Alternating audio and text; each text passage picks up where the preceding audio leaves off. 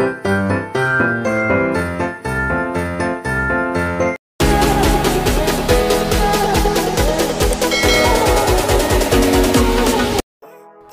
guys! Nandito ako ngayon sa Tagig Lakeshore. Location ito sa may C6 Lower Bikutan, Tagig City. Sa mga gustong pumunta dito, free lang yung entrance. Walang bayad. Isa ito sa mga magandang pasyalan ngayong Christmas. Tara, check natin sa loob ko anong meron.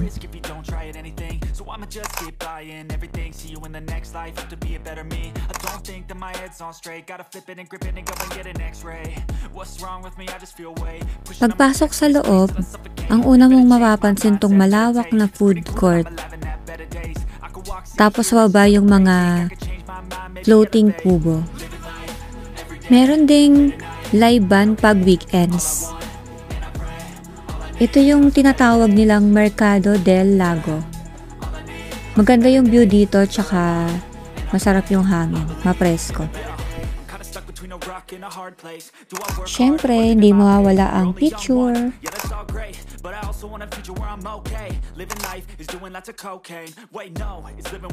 Ito yung tinatawag nilang floating cubos. Ang pwede lang dito, magtambay at magpicture. Bawal pong kumain dito. Limited lang din po ang pwedeng pumasok. Ang sarap lang din tumambay dito kasi mahangin tsaka maganda yung view. Pumunta pala kami dito um, Friday kaya medyo madami-daming tao. Sa mga nagtatanong ng way namin papunta dito, nanggaling kami ng Guadalupe tapos nag-jeep kami papuntang Pateros. Pagdating ng Patero, sumakay ulit kami ng jeep papuntang Bikutan. Pagdating namin ng Bikutan, naglakad na lang kami pababa papuntang Tagig Lake Shore.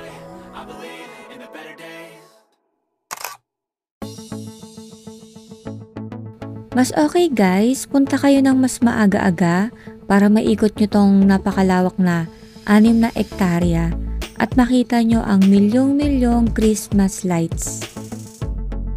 Start nito simula 5pm hanggang 12 midnight.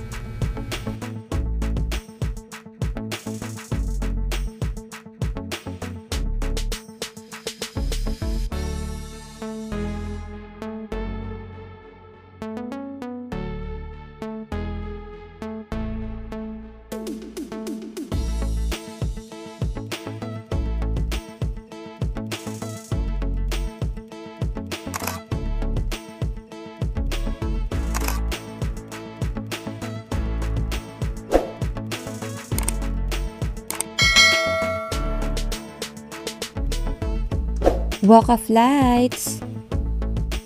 Itong mga nasa gilid, yung mga pa-square na may iba't ibang design at art, ito yung tinatawag nilang interactive art murals.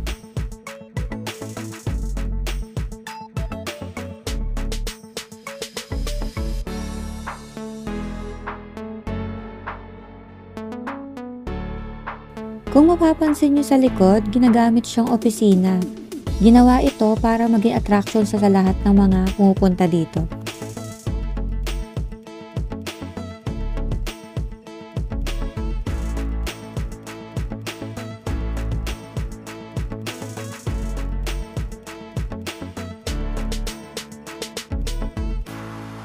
Kaya kahit medyo malayo yung lalakarin, may enjoy nyo dahil marami kayong makikitang mga Christmas lights at iba't ibang designs. Meron din kaming nadaan ng food bazaar.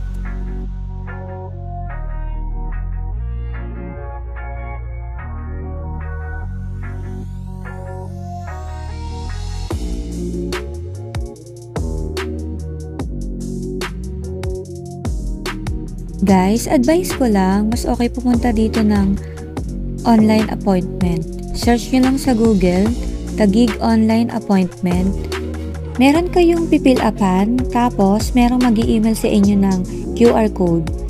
Mas mabilis kasi ang pila ng may QR code compare sa mga walk-in lang. Free lang ang entrance dito, lahat pwede nyo ikutin yan.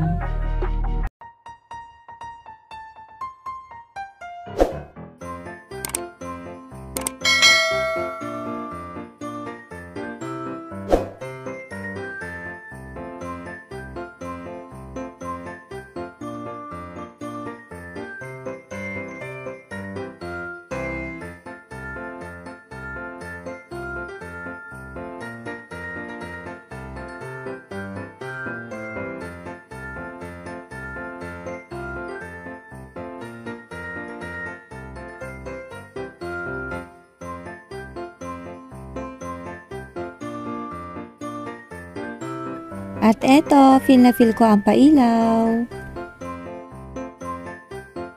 Ito yung tinatawag nilang walk through kaleidoscope.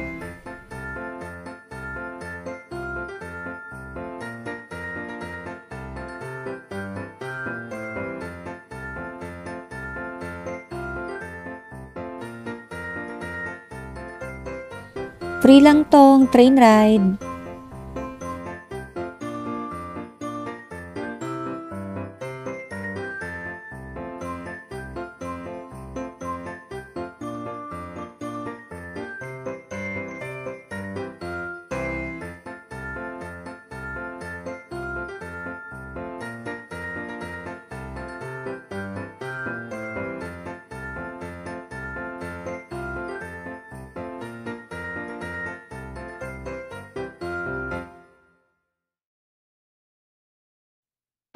Música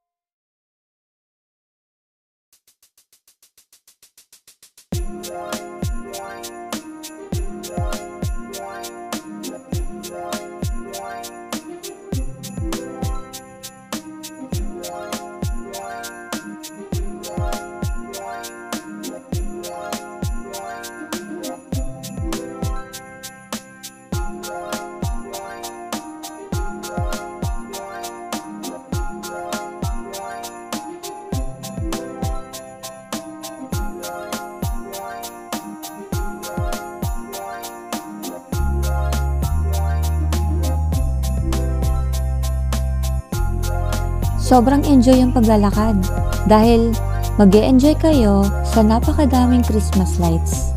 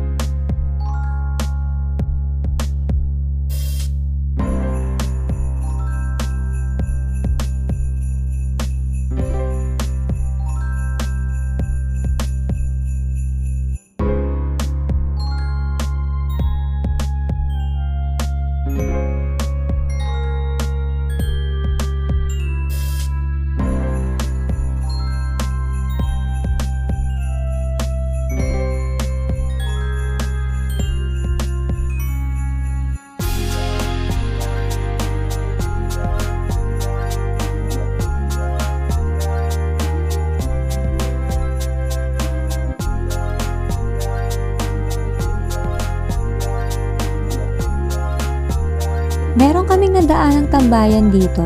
Sobrang presko, ang sarap ng hangin. Malapit pa sa lake, kaya tinawag siyang Christmas by the Lake.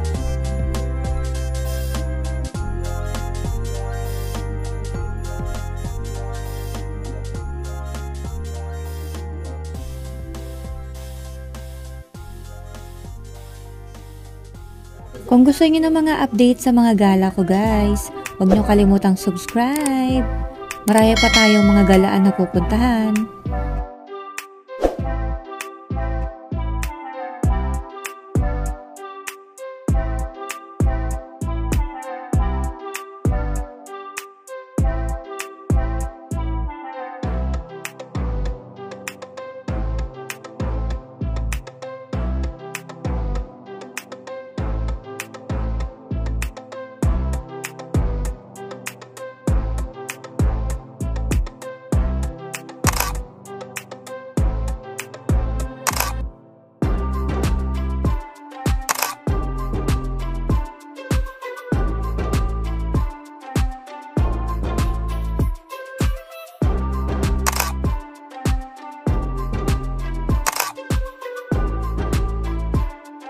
At eto na nga ang TLC Food Park.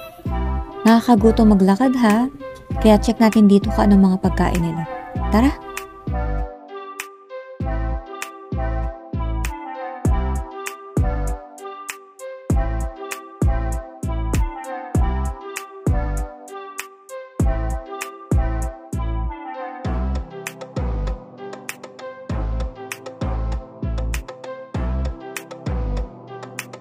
Pwede rin kumanta dito, libre lang.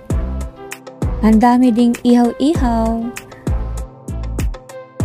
Street foods.